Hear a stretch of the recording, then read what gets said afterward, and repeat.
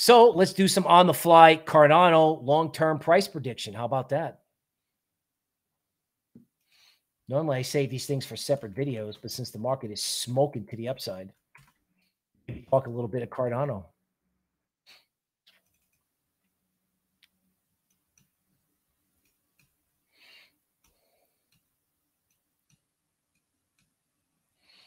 Okay.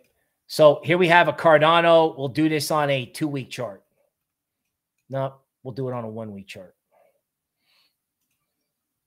Okay. So on this one week Cardano chart, I'm connecting three key points. Okay. The high in 2018 from when it came out, the blow off top high in 2021, and the FTX low. Okay. And I'm creating something called, creating something called a fib channel. Comes the fib channel.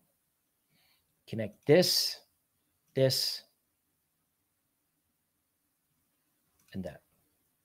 Okay. And I haven't done this yet, but this, you're really looking at freestyle TA for those who like that. I know Wrong Again likes the PowerPoint. I will bring that back.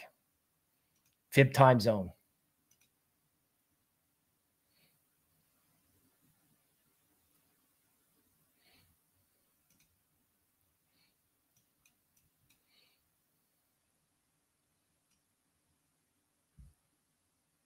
Okay.